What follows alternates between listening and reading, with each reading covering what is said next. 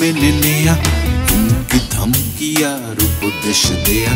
শরীর চর্চা করে নড়বড়ে হওয়া, অযথা চিন্তা করে বসা আর শোয়া।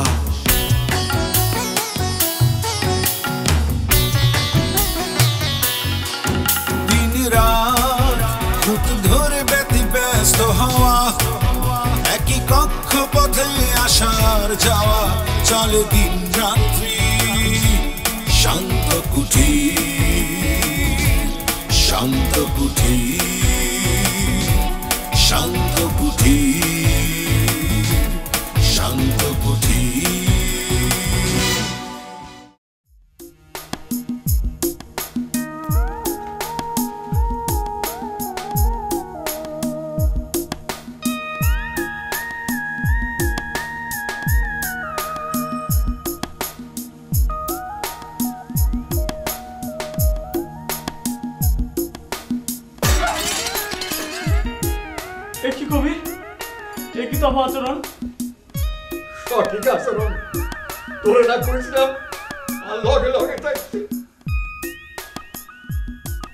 তো আপনার সাথে সাথে আছি কফিদুলাল।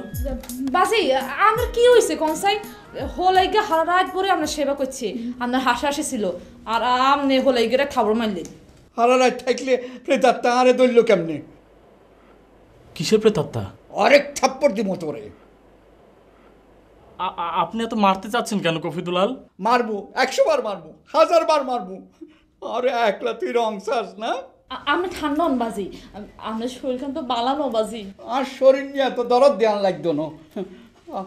তাই আর জান কবজ করি হেলাইলো তখন কন্ডে আসিলা তোর না জান চলে গেলে শরীর নিয়ে কি মুহাই ঠিকই জীবন চলে গেলে শরীর কোনো কাজে লাগবে না। বনের পাখি উড়ে যাবে পড়ে থাকবে শুধু খাঁচা। ঠিক কথা কইছো। পাখি লেজ লড়াই উড়ে গেলে কই খাঁচা দি কিত্তাম আই কিন্তু ফাঁকে বল দেবো কি লেবাসি আপনার কবিতার মধ্যে তো আপনার ফাঁকে খালি ল্যাজ লড়াই চলছে। ফাঁকে বল দেবো কি লাই? সেটা পরের বিবেচনা। তোরা দুগা কন্ডে আসিলি? প্রেতার তার বারোটা বাজি চলে গেল কবি নাইট শিফটে তো আমার ছুটি কবি আমি কীভাবে আসব? তোমার ছুটি কি আই দিছিলি? না হ্যাঁ আমি নিজের বিবেচনায় নিয়েছি। তোর আবার কির বিবেচনা? আয় কবি তুই আর ফিয়েস। আয় জিনে যামো জিনে থাকমো তুই আর লগে লগে থাকবা। কি বলেন কবি? আপনার একটা প্রাইভেসি আছে না? বারবার বলতেছি আগে জীবন পরে প্রাইভেসি টাইভেসি না গো বাজি রহিম বাচ্চা হোলাইগে ঠিক কথাই কইছে। মানুষের জীবনে প্রাইভেসি বলিতে একদম কথা আছে তো। আর প্রাইভেসি লাগবে না। চব্বিশ ঘণ্টা আর লগে লগে থাকতে হইব। এটা আর হুকুম তুমি যেটা ভাবছ সেটা ঠিক না না আমি যা করেছি মাইরি বলছি আমার আন্তরিকতার কোনো অভাব ছিল না সত্যি। আন্তরিকতার অভাব ছিল না মানে? তোমার জায়গায় তুমি আজবকে পাঠাবা? আজব তোমার রিপ্লেসমেন্ট সেটা কে বলল? আজও হচ্ছে আমার অ্যাসিস্ট্যান্ট আমার অনুপস্থিতিতে সব কাজ তো সেই করবে। আর তাছাড়া আমার একটু কাজের চাপ ছিল তো। ঠিক আছে। তোমাকে টাকা দিব কি না সেটা ওকে নতুন করে বিবেচনা করতে সে কি? আমার অপরাধ? সেটা তুমি নিজেই বের করো। তোমার তো কোনো ঠিক ঠিকানা নাই। তুমি মুখে বলো এক কাজ করো আর এক আচ্ছা ঠিক আছে। আমার ভুল হয়ে গেছে। এখন থেকে আর ভুল হবে না। একদম মাইরি কথা দিচ্ছি এখন থেকে। চব্বিশ ঘণ্টা আমি তোমার পাশে পাশে থাকব। থাক আমার পাশে পাশে তোমার থাকতে হবে না। তুমি তোমার রাস্তায় থাকো আমি আমার রাস্তা থাকব। আজকে থেকে আজকে থেকে দুজনের দুটি পথ দুই দিকে যাবে। সে- কি বাঁকা পথ কেন? বাঁকা পথ ভালো না। সত্যি কথা দিচ্ছি। এখন থেকে আমরা সবসময় এসো না সোজা পথে হাঁটি। তুমি হাঁটো আমি যাব না। শোনো টাটা বাই বাই খোদাফেজ আশ্চর্য সবাই যদি একে একে বিট্রে করে আমি সিনেমাটা বানাবো কি করে? সারা রাত জেগে থাকাও একটি কাজ। এই গুরুত্বপূর্ণ কাজটি আপনাকে অতি দায়িত্ব সহকারে অন্তরের অন্তঃস্থল থেকে পালন করতে হবে। আর কত জেগে থাকব সারা রাত? গত এক মাস আমি এক সেকেন্ডের জন্য ঘুমাই নাই প্রীতি। আমি একদম নির্ঘুম ছিলাম। সারা রাত জেগে থাকা মানে কি নির্ঘুম থাকা নাকি? প্লিজ রীতি তুমি একটা কাজ দাও আমাকে। আমি বেকার হয়ে যাচ্ছি একদম বেকার হয়ে যাচ্ছি। ও আফা এর এখন কাম দিন কামের মানুষ কামলা। কাম ছাড়া থাকবার পারে না। আচ্ছা কাজ না? দিচ্ছি আপনি নিশ্চয়ই শুনেছেন ইদানিং বাড়িতে প্রেতাত্মার কথা শোনা যাচ্ছে।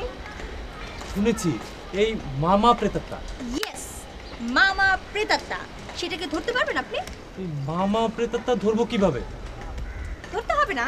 শুধু প্রমাণ করলে হবে যে প্রেতাত্মা বলতে কিছুই নেই নেই আর নেই। নেই নেই আর নেই। আফাই প্রমাণটা দিব কিরম করে?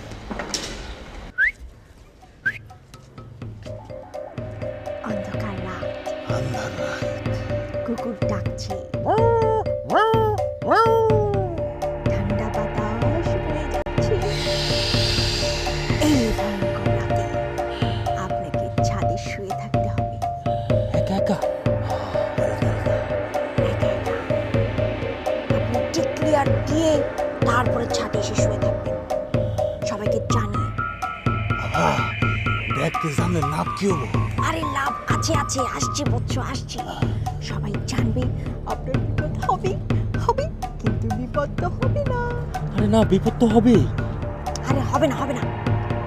আপনার কোনো বিপদ হবে না। আপনি সুস্থ শরীরে ফিরে আসবেন। যদি তুমি তাহলে আমার কঠিন কাজ দাও। সহজ কোনো কাজ থাকলে বলো।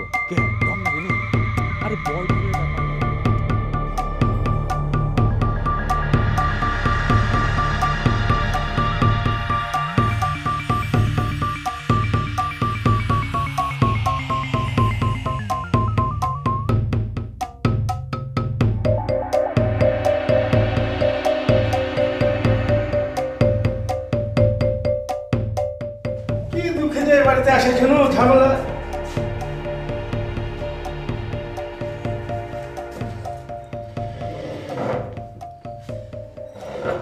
বাস রে সব দুধ খেলিলা? ইয়ে ছেলে চকলেট খাবা? না। এই আইসক্রিম? না। তাইলে মুড়ির মোয়া? সেরেছে এই ছেলে তো কিছুতেই কিছু হচ্ছে না খো কি করে পটাবো? কাকে পটাবেন? না না কাউকে না কাউকে না। শোনো তুমি আমার সাথে বেড়াতে যাবা? কই? এই বাইরে যাব আর আসব। কেন? না এমনি মানে রাস্তায় কত গাড়ি ঘোড়া দেখবা আহ, যাব আর এখনই চলে আসব। গাড়ি আসুক তারপর। কার গাড়ি গো? আমার মা বলেছে আমাকে একটা গাড়ি কিনে দিবে।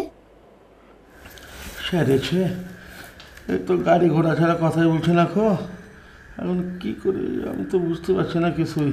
আচ্ছা আপনি কি লিজনারের গানটা জানেন? কেন? গান তো একটু। পরে গাইবো পরে হ্যাঁ? না এখনই গান। এখনই? আচ্ছা ঠিক আছে। মুসিবতে বললাম তো দেখছি। ওরে পাখি রে তুই ডালে বসে, মনের সুখে গান গাস, আর লেজে নারাস লেজে নারাস আর লেজে নারাস লেজে নারাস পাখিরে তুই ডালে বসে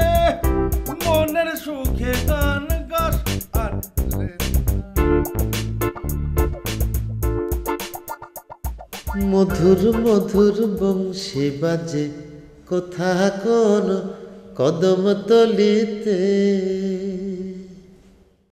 কে? আমি পথের মাঝে পথ হারালাম ব্রজে চলিতে। কে? কোন মহাজন পারে বলিতে? কে কে কে কে কে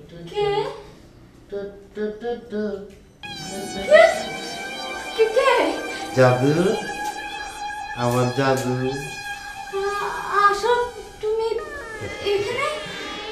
আমি এখন সূক্ষ্মতর। চিকনের চেয়েও চিকন। সূক্ষ্ম চিকন এসবের মানে কি? আমি তো নেই। এসব তুমি কি বলছো জাদু? আমি মনুষ্য জীবনের কথা বলছি। আশরাফ এখন সুদূর অতীত। সে এখন ভূত। প্রেতাত্মা আমি এসব বিশ্বাস করি না। পৃথিবীতে ভূত বলে কিছু পৃথিবীতে নাই কিন্তু ভূতের রাজ্যে ভূত আছে। আমি এখন সেই রাজ্যের বাসিন্দা।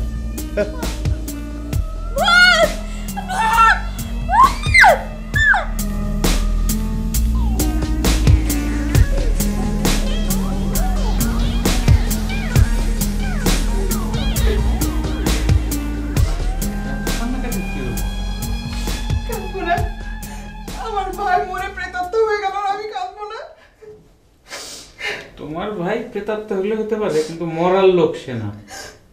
না মনে প্রেতাত্মা হবে কি করে? আর কেউ না পারলেও তোমার ভাই পারবে। আর ভাই পারবে? কি করে পারবে? প্রেতাত্মা হওয়া কি এত সহজ নাকি? সোজা কঠিন জানি না তোমার ভাই সব পারে। শোনা একটা মানুষের জীবন দশায় যা কিছু বলেছ মেনেছি এখন মরার পর কিচ্ছু বলবে না। কিসের মৃত দেখো না প্রেতাত্মা হয়ে বহাল তবিয়তে বেঁচে আছে। কি তবিয়তে আছে কে জানে? কোথায় খায় কি করে কে জানে? তোমার ভাইয়ের আক্কেল জ্ঞান বলে কিছু নাই। কেন? সে তো তোমার সাথে দেখা করতে পারে। কি আশ্চর্য! আমার সাথে দেখা করবে কেন? না কি খাচ্ছে না খাচ্ছে তার তো ঠিক নাই। তোমার সাথে দেখা করলে অন্তত তিন বেলা পেট ভরে খেতে পারতো আরাম করে ঘুমাতে পারতো এই, ব- ব- ব- বাজে কথা বলবে না ও যেখানে আছে সেখানে থাকা আমার সাথে দেখা করবে না। ভয় পাচ্ছ কেন? প্রেতাত্মা হলেও সে তো তোমার ভাই। আগে ভাই ছিল এখন সে প্রেতাত্মা। প্রেতাত্মা হলে কি? প্রেতাত্মাদের কি ভাই বোন থাকে না? প্রেতাত্মা হলে তার খাওয়া দাওয়া লাগবে না? না লাগবে না। কোনো প্রেতাত্মার সাথে আমার সম্পর্ক নাই। যাক ভাইয়ের জন্য যে মরা কান্না শুরু করেছিলে সেটা অন্তত থামলো। তুমি কি বুঝবে? বাপ মা মরা একমাত্র ভাই আমার। বাপ মামরা একমাত্র ভাই থেকে বাপ মামরা একমাত্র প্রেতাত্মা হয়ে থাকল। আমি কি করব? আরে বাবা মরে গেলে তো আর কেউ ফিরে আসে না। তুমি খুবই ভাগ্যবান। প্রেতাত্মা হলেও সে তো আছে তোমার সাথেই।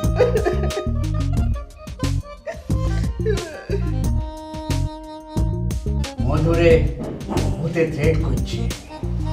আমার কি কিছু করণের নাই? কি করতে চান রবীন্দ্রলাল? আমি সমবেদনা জানাইতেন চাই। তুমি একটা বিধি ব্যবস্থা করো। সেটা কি ঠিক হবে? কিল্লাই ঠিক হইতো। না একটু বাড়াবাড়ি হয়ে যাবে। কারণ আপনাকেও ভূতে ভয় দেখিয়েছে এবং আপনিও অজ্ঞান হয়েছেন। কিন্তু কেউ আসেনি সমবেদনা জানাতে?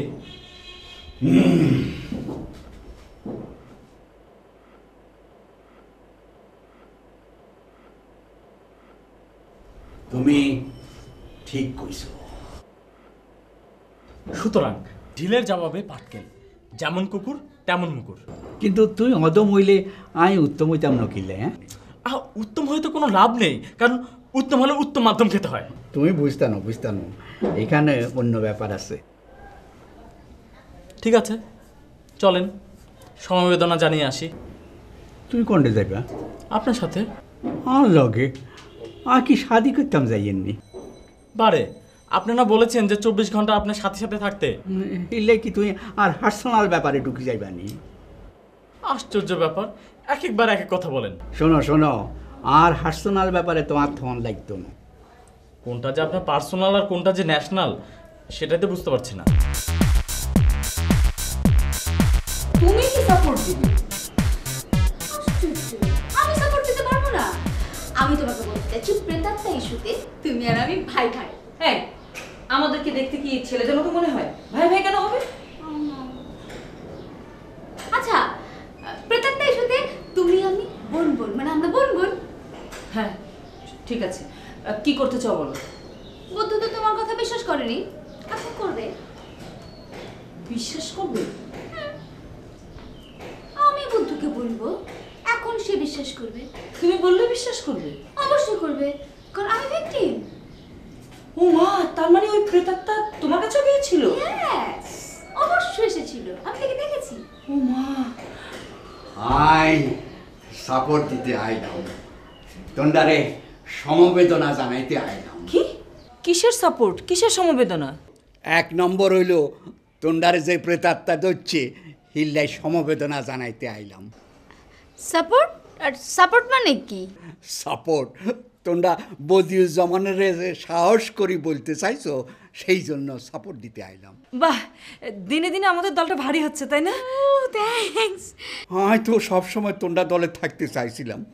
কিন্তু তোমরাই তো আরে দূর দূর করে দূরে ফালাই রাখছো। থাক পুরনো কথা তুলে আর নতুন করে বিভেদ সৃষ্টি করো না কবি। আমরা সব এক পথের যাত্রী।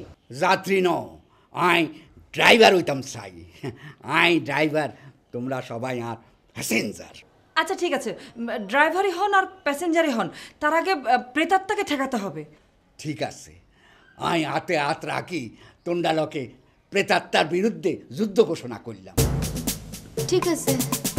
তোমরা আর সাথে বলো আমরা শপথ গ্রহণ করিতেছি যে প্রেতাত্মার বিরুদ্ধে সংগ্রামে। আমরা শপথ করিতেছি যে প্রেতাত্মা বিরোধী এই সংগ্রামে আমরা হাতে হাত রাখি কাঁধে কাঁধ রাখি একসাথে সংগ্রাম করিলাম। আমরা হাতে হাত রাখি কাঁধে কাঁধ রাখি সংগ্রাম করি জামু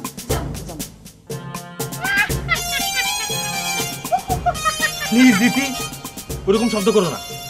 এত অন্ধকারে থাকা যায় বলো। আরে অন্ধকার মানে? মোমবাতি আছে না? মোমবাতি হলো একদিকে আলো আর একদিকে নিরাপত্তা। ওহ রীতি ওরকম ভোকালে কথা বলব না। সরি সরি এই নিরাপত্তা মানে? নিরাপত্তা মানে হচ্ছে আগুন। আগুন কাছে থাকলে ভূতাত্মারা বেরো না। এই রীতি সত্যি সত্যি প্রেতাত্মা আসবে নাকি? এই এই মুক্ত। একেবারে ভয় দেখাবি না নো নো না আসতে পারে কিন্তু। চুপ! আপনি কেন ভয় পাচ্ছেন? ভয়ের কিছুই নেই।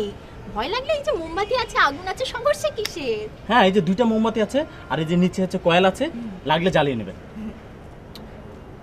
আমার তো এখনই ভয় লাগতেছে। কিসের ভয়? কেন? কিসের ভয় আপনার? এই যদি সত্যি সত্যি ভূত আসে? আরে প্রেতাত্মা থাকলে গা তো আসবে প্রেতাত্মা তো নেই। আপনি শুধু শুধু ভয় পাচ্ছেন।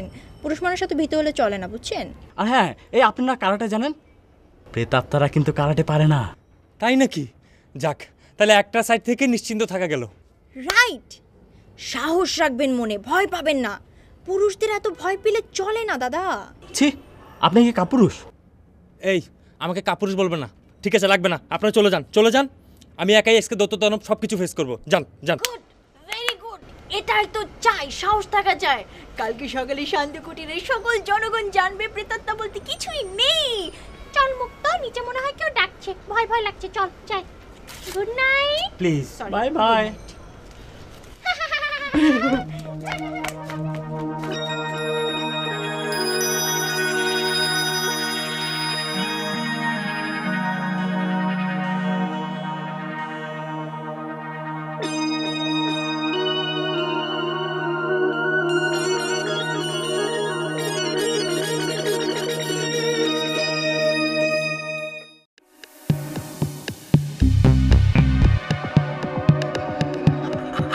কে?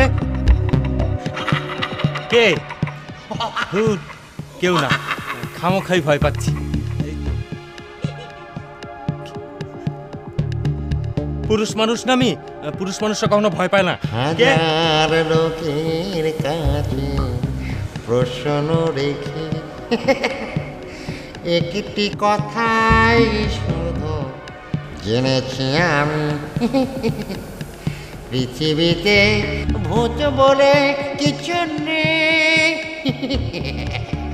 কিছু নেই।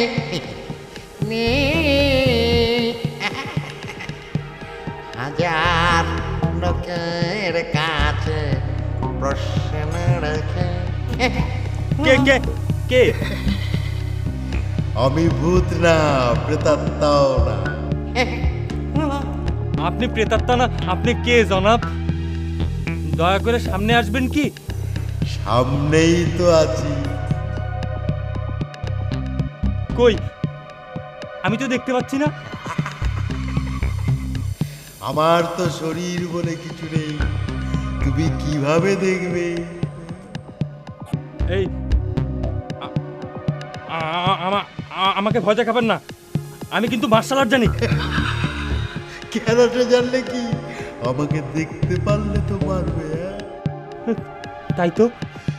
বেশি বাড়াবাড়ি করবা না। এমন একটা জাতি পারব যে মুন্ডু খুলে টুপ করে পড়ে যাবে। মুন্ডু খুলে পড়ে যাবে মানে? তারপর সারা জীবন মুন্ডুটা হাতে নিয়ে ঘুরবা। তাহলে আমি ভাত খাব কীভাবে? মুন্ডুটা নিচে রাখিয়া তারপরে খাবা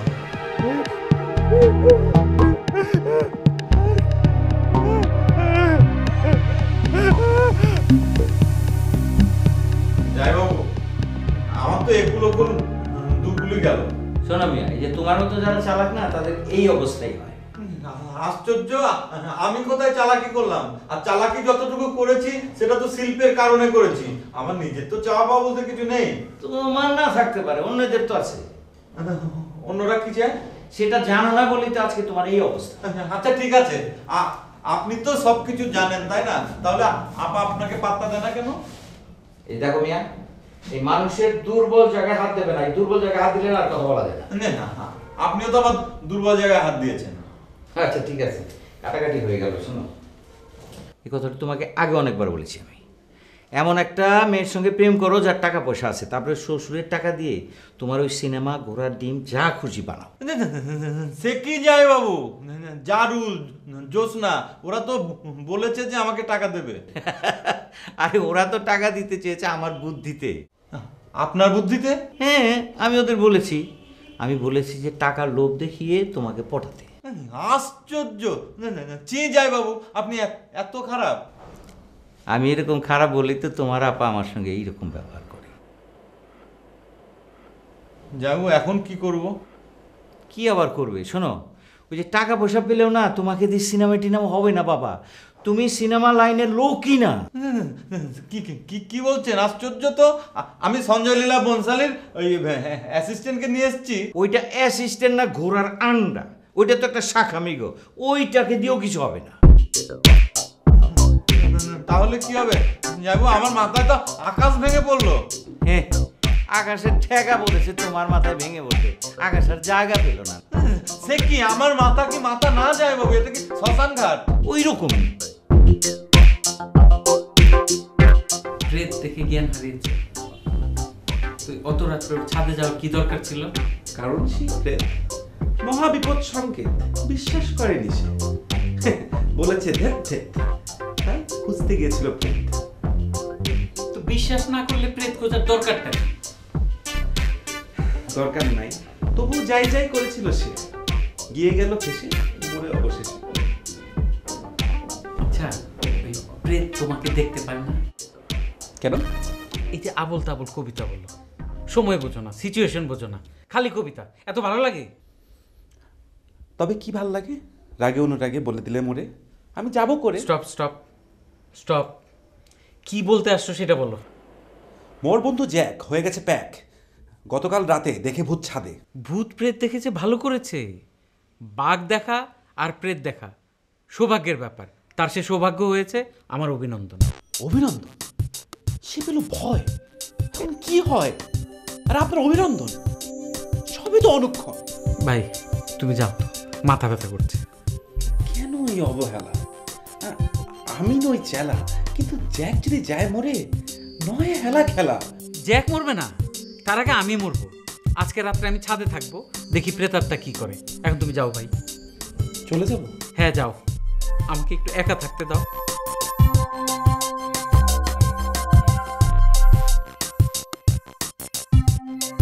ধর্মী আপনাকে দিয়ে কোনো কাজ কি করব বলেন? আপনার ছেলে তো কোনো কথা শুনছে না গো। আশ্চর্য একটা বাচ্চা ছেলেকে আপনি কন্ট্রোল করতে পারছেন না। আপনি না বিবেকের রোল করেন। তা আমি তো বিবেকের রোল করতাম সে তো বড়দের জন্য বড়দের বিবেক আছে বিবেকের পাট গায়ে তা বড়দের বিবেক জাগ্রত করতাম। তার মানে কি? ছোট ছেলেদের কি বিবেক নেই নাকি? ছোটদের আছে কিনা জানি না আপনার ছেলের কোনো বিবেক নেই সে প্রতিবন্ধী। কি বলছেন? আমার ছেলে প্রতিবন্ধী হবে? তো প্রতিবন্ধী না তো কি?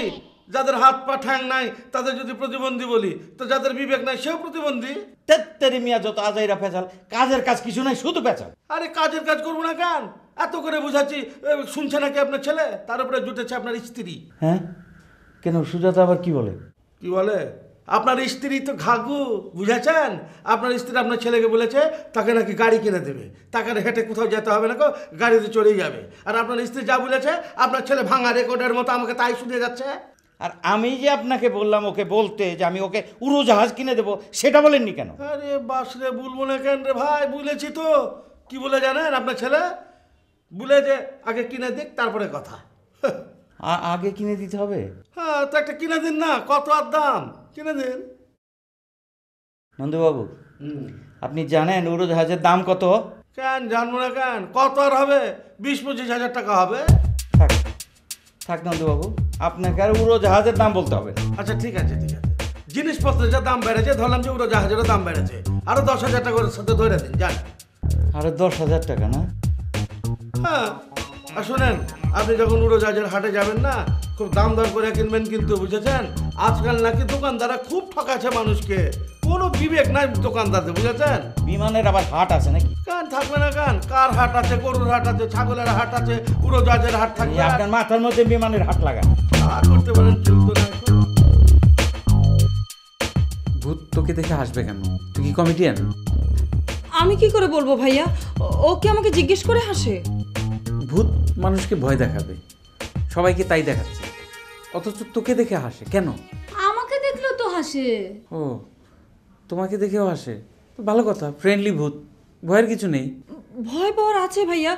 কেমন না ওই যে এ, পিশাচের মতন হাসি। দেখলেই গাটা হিম হয়ে যায়। হ্যাঁ একদম হিম হয়ে যায় বুদ্ধু। কেন? তোমরা কি হিম ঘরের বাসিন্দা? যে হাসি দেখলেই গা হিম হয়ে যায়? মধু বলেছিলাম না ভাইয়া বিশ্বাস করবে না? সত্যি তো। আশ্চর্য বুদ্ধু তুমি কেন বিশ্বাস করছ না? আমি নিজে চোখে আশরাফ ভূতকে দেখেছি। তো প্রমাণ করে দেখাও যে ভূত বলে কিছু আছে। পারব ওই যে ছাদে গেলে দেখা যায় ভাইয়া। কেন? ছাদ কি ভূতের বেডরুম? শুনো আমার না কষ্ট করে ছাদে যেতে হয়নি। ও আমার ঘরে এসেছিল। আমি ছাদে গেলেও ভূত আসবে না। এত অহংকার করল বুদ্ধু ভূত কিন্তু তার বাপকেও ছাড়ে না। আমি বললাম তো আমি গেলেও ভূত আসবে না। আমি ভূতের বাপ না আমি ভূতের জম। সারাটা জীবনে তোমার অহংকার গেল না না? ঠিকই বলেছ তুমি। এই তাল দিবি না। তাল দেওয়া আমার পছন্দ না। আচ্ছা ঠিক আছে ও তাল দেবে না। তাহলে তুমি প্রমাণ করে দেখাও যে ভূত বলে কিছু নেই। অবশ্যই করব। একশো বার করব। গাড়ি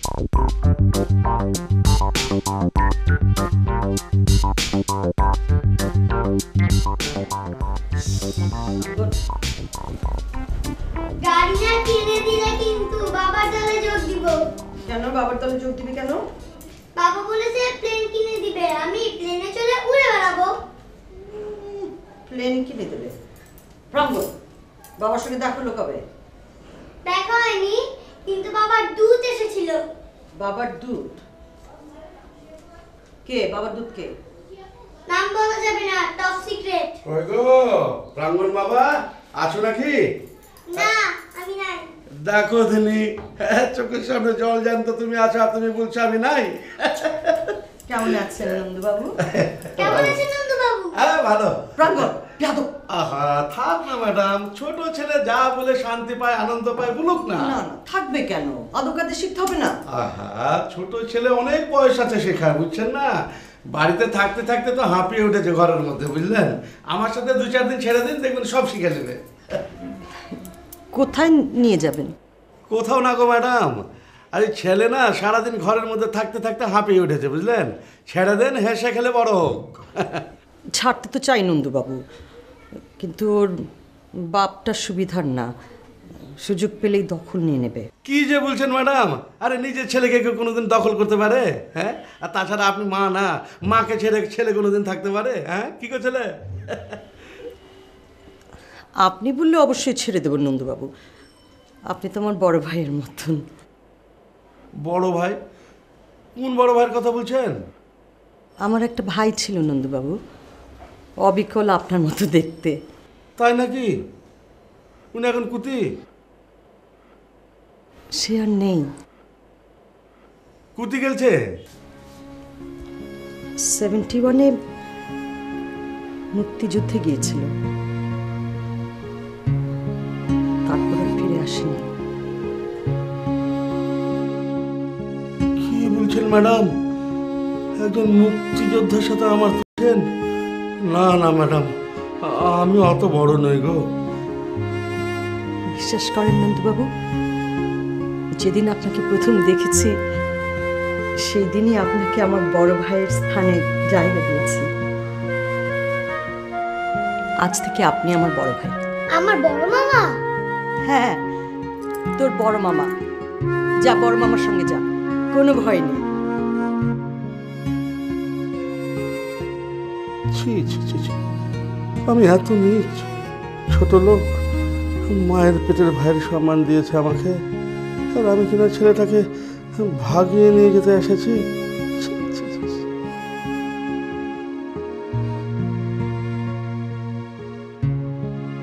এত বড় স্মরণ সভা আর আমরা এই মাত্র তিনজন। আমরা বাড়ির বড় কর্তার অসহযোগিতা করছি। আপনার একমাত্র ভাই মারা গেছে। আয় করলাম একটা বড় ধরনের অনুষ্ঠান। করি তাতে রাজি হইল না। আয় আর কি আর এই ক্ষুদ্র সীমিত ক্ষমতায় আই এই স্মরণ সভার ব্যবস্থা করছি। সবই আমার কপাল। আপন দুলাভাই ওই শালকের লাই হাঁসটা পয়সাও খরচ করল না। এইটা মানুষের মতো কাম হচ্ছে আচ্ছা আচ্ছা ঠিক আছে বাদ দেন। শুরু করেন শুরু করেন শুরু করেন। এই ইয়েস শুরু কর। জি।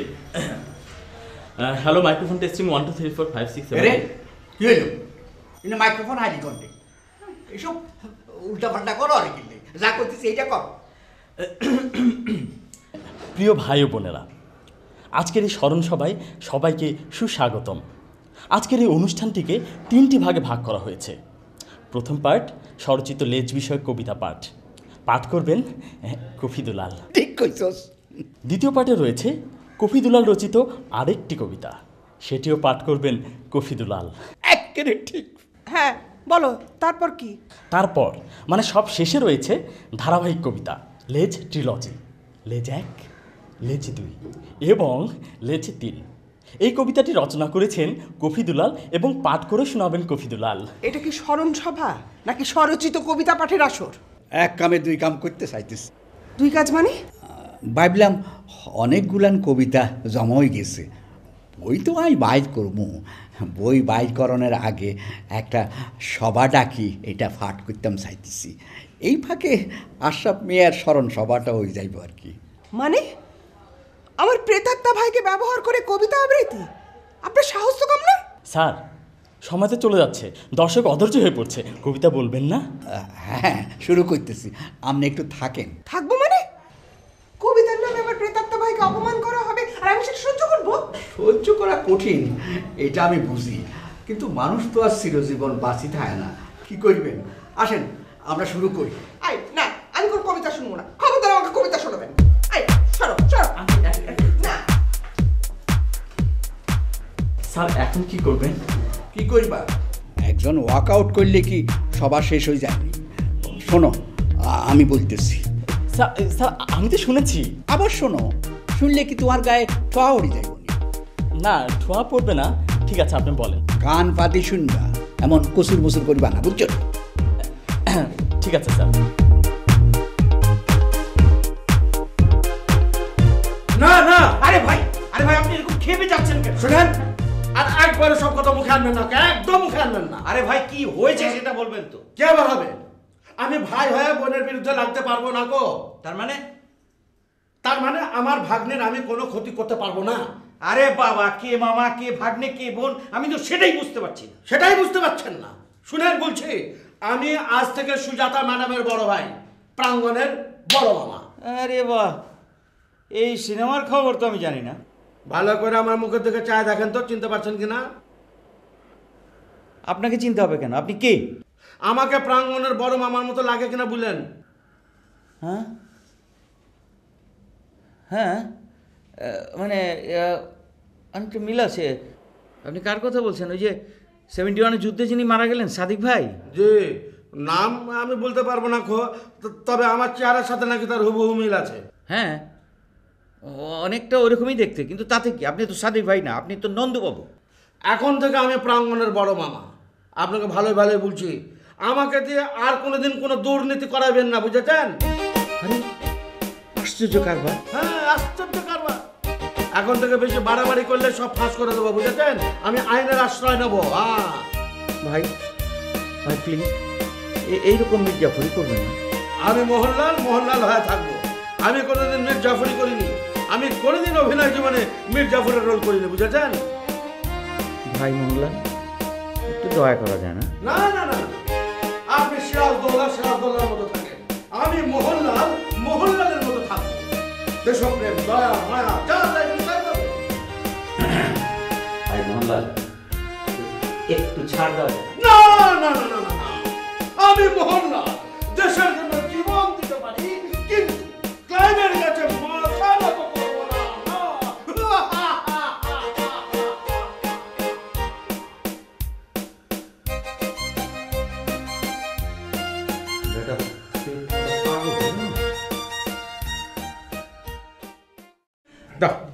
আমার বন্দুক দাও।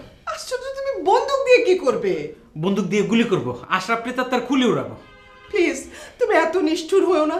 আমার একমাত্র প্রেতাত্মা ভাই। প্রেতাত্মা ভাই একমাত্র প্রেতাত্মা ভাই। তো বদমাইশি করছে কেন? মানুষকে ভয় দেখাচ্ছে কেন?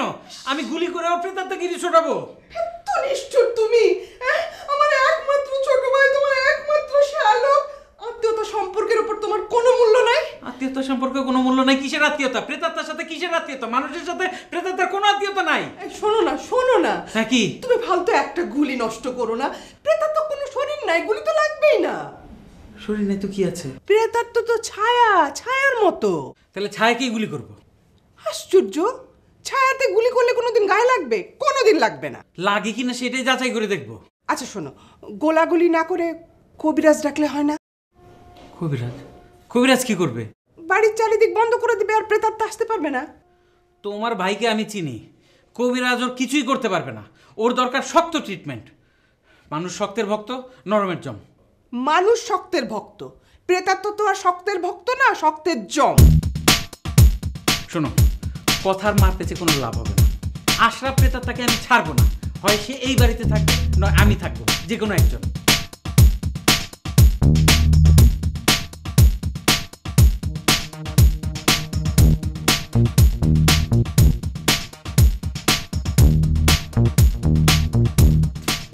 মধু শুনছনি বদিউজ্জামান বুদ্ধুর সাথে লাঠি লই গেছে।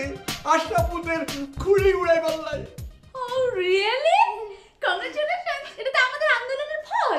ভূতের বাচ্চা ভূত এবার মজা বুঝব। চল আমরা সবাই মিলে ছাদে যাই। না সাথে যাই কি হইব?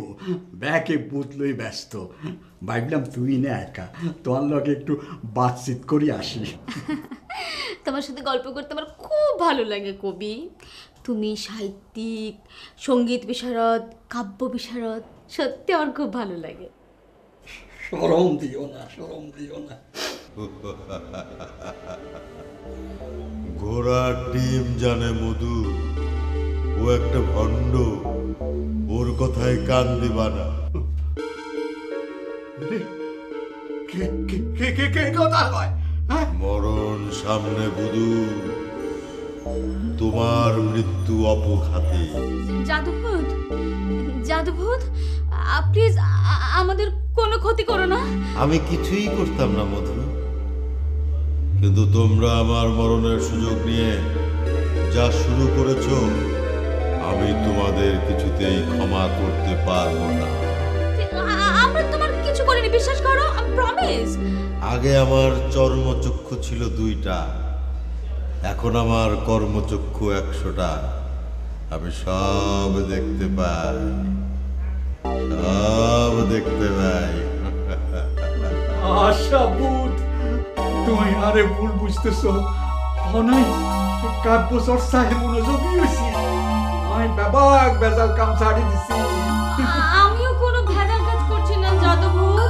কাউকে বিশ্বাস করি না। আমরা ভূত। ভূত কখনো মানুষকে বিশ্বাস করে না। আমরা বিশ্বাস করি শুধু ভূতকে। হা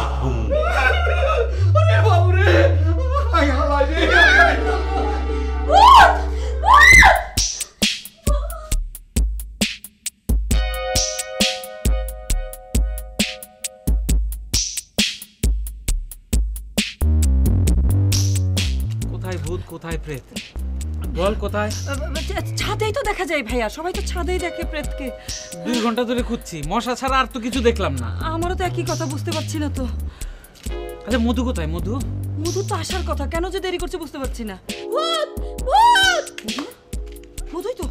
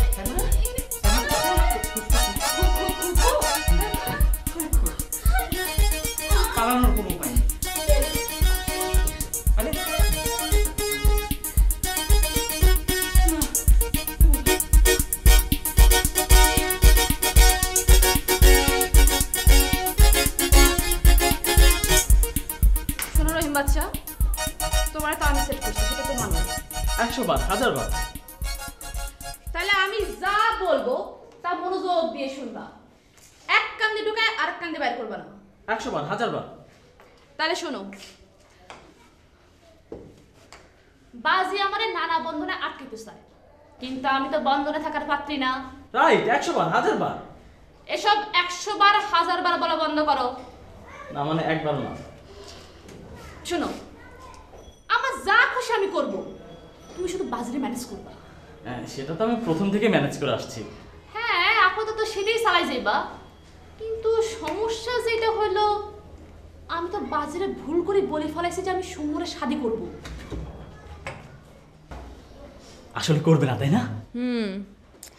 আরে সমুদ্র একটা গবেট পোলা। তার বুদ্ধি শুধু এখনও কিছু ফাঁকে নাই। তারে বিয়া করে কি আমি সারা জীবন ঘানি টানবো? হ্যাঁ তুমি তো কুলুর বলদ। না না। জীবনে বিয়া শাদি করব মাত্র একখান। সুতরাং বহুত বিচার বিবেচনা করে বুদ্ধি করে করতে হইব। কোনো অসুবিধা নাই আমি কফি দুলালকে ম্যানেজ করছি তুমি চালিয়ে যাও। শোনো এত ফডর ফডর করিও না। আমার সাথে এইবার কোনো রকম দুই নাম্বারই বা সালাকি টালাকি করবা না। কিসের দুই নম্বরে? তুমি তো মুখে বলো এক কথা কিন্তু কামের বেলা করো আরেকটা। এইবার যদি আমার সাথে কোনো রকম দুই নাম্বারই করছ তাহলে তোমার খবর আছে ঠিক আছে? একশো বার হাজার বার। আর কি বলছো? না একবারও না। আর শোনো সৌম্যর সাথে যে আমার বিয়ের কথাবার্তা চলতেছে এইটারে একদম মাটি চাপা দিয়া দিবা। একদম স্টপ হ্যাঁ একদম stop। তুই ভূত তুই যা তুই যা তোকে দেখলে আমার ভয় লাগছে তুই যা। তুমিই বলো আপা। ওই দুলাভাই লাঠি নিয়ে আমাকে খুঁজবে। এটা কি ঠিক বলো? ঠিক বে ঠিক আমি জানি না। তুই- যা তুই যা আশ্চর্য আমি না তোমার ছোট ভাই। তুই তুই আগে ভয় ছিলি এখন নাই। তুই তুই এখন ভূত মানুষ যা। বিশ্বাস করো আপা আমি কোনো ভূত প্রেত না। আমি তোমার ছোট ভাই সৈয়দ আশরাফ হোসেন। ছোট ভাই না তুই এখন আশা প্রেতাত্মা আশা ভূত। তুই যা যা। বিশ্বাস করো আপা আমি ভূত সেজে আছি। সেজে আছিস ভালো। যা যা যা যা। আশ্চর্য তুমি আমাকে তো বিশ্বাস করতে পারছ না। হ্যাঁ, বিশ্বাস করেছি। তুই- তুই- তুই- তুই যা, যা, যা।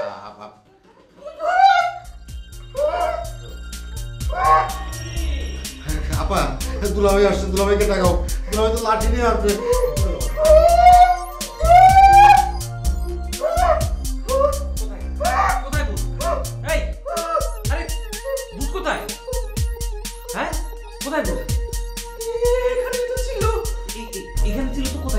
গেল কোথায়?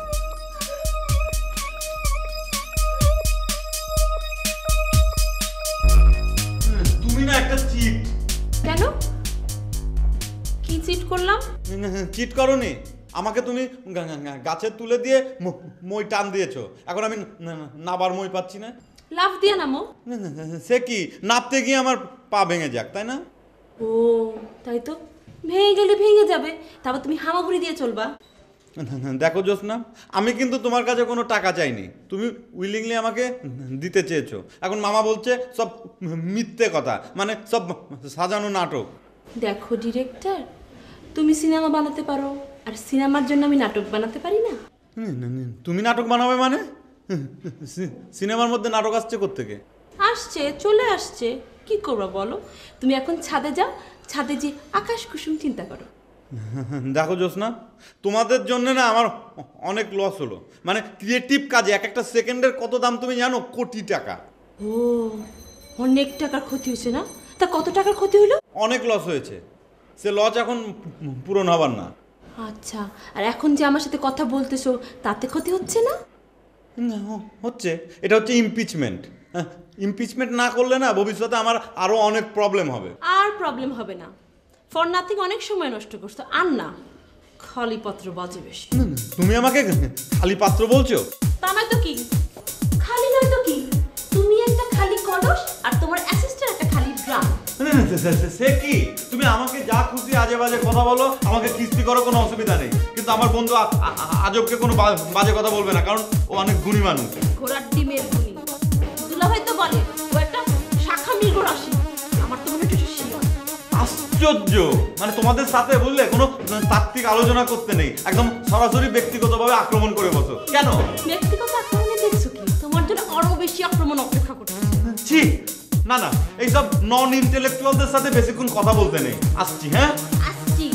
কিন্তু আমরা সিনেমা বানাবে সিনেমা বানাবে বেশি কথা বলো। একদম চুপ। হাজির কোথাকার? জামিলের কাছে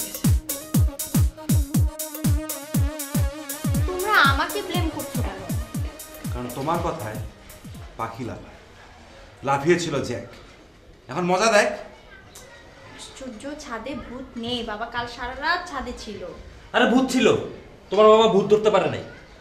ধরবে থেকে ভূত তো ছিল না। আর যদি ধরতে পেত তাহলে আচ্ছা করে পিটি লাগাতো। শোনো ভূতকে পাও ভয়। ভূত ধরা এত সহজ নয়। খপাত করে ধরবে যখন বুঝবে তখন মজা। ওকে আমার মনে হচ্ছে তোমাদের একবার ছাদে যাওয়া উচিত। কোনোদিন না জীবন গেলেও না। আরে বোকা যেটা দেখে তুমি ভয় পেয়েছ সেটা সামনাসামনি দেখলে হয়তো ভয় নাও পেতে পারো। ভাই ভয় থাকুক আর না থাকুক আমরা যাব না কোনোদিন যাব না। শোনো রীতি মিছে সম্প্রীতি করো না কখনো। মোরা না হয় বেচারাম শেষমেশ জানিলাম শত্রু তুমিও। আমি শত্রু? আরে আমি শত্রু হতে যাব কেন? আমি তো তোমাদের বন্ধু ফ্রেন্ড ওয়েল উইশার না না না না আমাদের কোনো ওয়েলুশন নাই। আমাদের কোনো শুভাকাঙ্ক্ষীর দরকার নাই। তোমরা ভাই তোমাদের মতো থাকো আর আমরা আমাদের মতো। ঠিক বলেছিস জ্যাক এতদিন ধরে মিছে প্যাক প্যাক। সরলতার সুযোগ নিয়ে কি করিল দেখ? শোনো কবি এইভাবে দোষ দিও না ঠিক আছে? আমি তোমাদের ভালো চাই। আমাদের ভালোর দরকার নাই। আমাদের যদি ভালোই চাও তাহলে পাউরুটি কই ঝোলাগুড় কই? পাউরুটি ঝোলাগুড় মানে? এই দুনিয়ায় সকল ভালো। আসল ভালো নকল ভালো। সস্তা ভালো দামিও ভালো। কিন্তু তার থেকে বেশি ভালো পাউরুটি আর ঝোলাগুড়। আমাদের পাউরুটি আর ঝোলাগুড় কোথায়? আশ্চর্য। ভালো না মন্দ সেই জন্য পাউরুটি আর ঝোলাগুড় আনতে হবে? আলবদ আনতে হবে। কাব্যের সত্যি আসল সত্যি। এর উপর কোনো সত্য নাই। এর বাইরে ভালোও নাই বুঝছ? তার মানে কফি দুলালো ভালো? লেজ নাড়ানো কবিতাও ভালো। ওফ লেজ। কবিতা হলো শেষ। কবিতার হলো বলি। উনি কবি নন মিছে কথা কন তাই ওনাকে এড়িয়ে চলি। কিন্তু তিনি কবি তার সত্য কাব্যের সত্য। কক্ষণ না তাহার কাব্য নহে সত্য হয়তো বা গর্ত পড়িলে ভাঙবে ঠ্যাং মিছে ব্যাং ব্যাং। এত কথার দরকার নাই ভাই আমরা তোমার ভালো চাই না। আমরা খারাপ চাই তোমার খারাপ চাই। কেন? খারাপ কেন? কারণ হিতে বিপরীত ইহা সমুচিত। তুমি যদি খারাপ করো হবে বিপরীত। রাইট সেই জন্য তুমি খারাপ করো। হিতে বিপরীত বিপরীত হিত।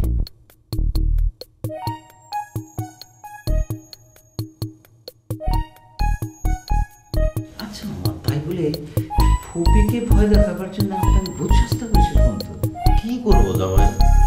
কোনোভাবেই তো তার সাথে পারি না। আচ্ছা ঠিক আছে আপনি ভূত হয়েছেন ভালো কথা। আমাকে আগে জানিয়ে রাখবেন না ব্যাপারটা। কীভাবে জানাব? জানালে তো কেউ বিশ্বাস করে না। নিজের বোন সেই বিশ্বাস করে না। বিশ্বাসটা করবে কেন? আপনি কি বিশ্বাস করার মতো কিছু বাদ রেখেছে তুমি জানো দুলা ভাই সে লাঠির বাড়ি দিয়ে আমার মাথাটা ফাটিয়ে দিতে আরে ধুর ওটা তো ওটা তো আগের মাথায় বলেছে। সত্যি সত্যি ভাঙবে নাকি? আচ্ছা ঠিক আছে ফাটালে ফাটাক। কিন্তু ঘিলুর নিরাপত্তাটা কে দেবে? কেন? ঘিলুর আবার কি নিরাপত্তা? আরে বাবা বুঝতে পারো না কেন? মাথাটা যদি ওপেন হয়ে যায় মানে খুলিটা যদি না থাকে তাহলে ঘিলুটা বের হয়ে যাবে না। তখন কাক এসে ঠোকর পারবে না?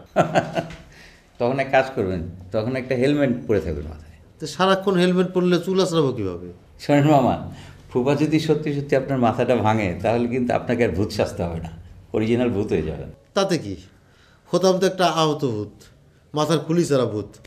একটা পূর্ণাঙ্গ ভূত হলে তাও না হয় একটা কথা ছিল। তো এখন আপনার কি মতলব? মানুষ হবেন না ভূত হবেন? দুটোই থাকতে চাই। সেটা কীভাবে?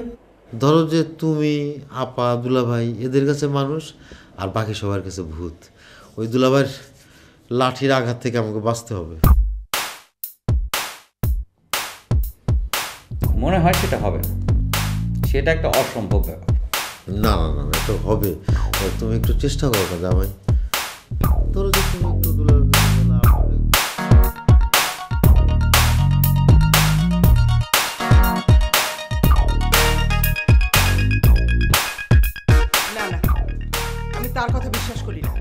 সে সব পারে। খালা সে সব পারে এটা সত্যি কিন্তু সে খুবই অনুতপ্ত এখন। সে আসলেই ভূত। সে মানুষ সেজে তোমাদের সাথে অভিনয় করছে। আরে না না না না খালা সে আসলেই মানুষ বিশ্বাস করেন মানুষ। সত্যি বলছো? তা আমাকে এখন কি করতে হবে? আপনি শুধু খালুকে বলবেন ওই লাঠিটা নিয়ে তারা না দেয়। আমি পারব না। পারলে তুমি বলো। খালা এটা আপনাকে করতে হবে প্লিজ নাহলে ওই খালুর লাঠিতে না মামার মাথার খুলি ফান্টুস হয়ে যাবে। হুম দুষ্টুমি করার সময় মনে ছিল না? এই যে খালা আপনি একদম ঠিক ধরেছেন। দুষ্টুমি ব্যাপারটা পুরোটাই দুষ্টুমি। মামা মামা আসেন আসেন। আরে বারবার আসেন প্রতীক ভালো এখন আসেন।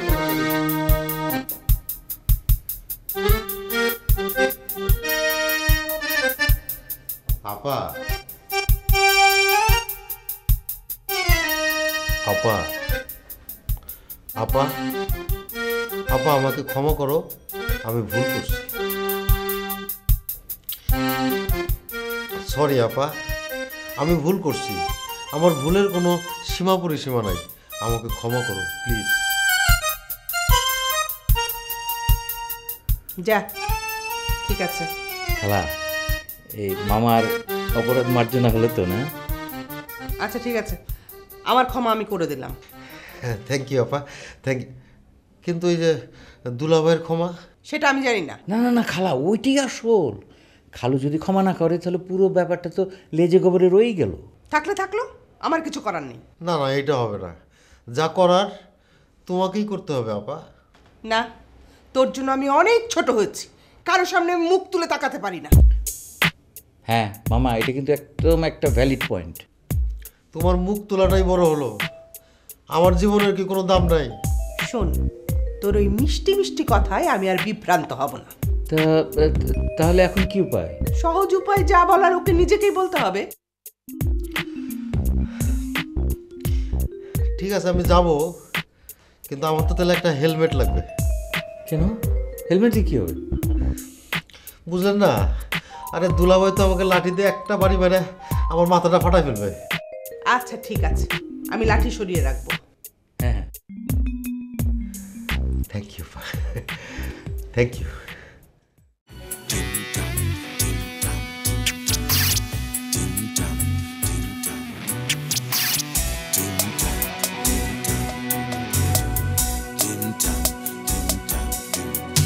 চুপচাপ থাকা আর সব মেনে নেয়া হুমকি ধমকি আর উপদেশ দেয়া।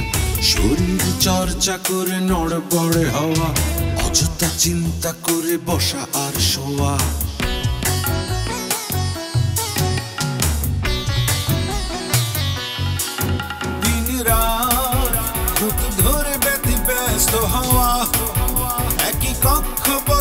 আসার যাওয়া, চলে দিন রাত্রি, শান্ত বুদ্ধি শান্ত বুদ্ধি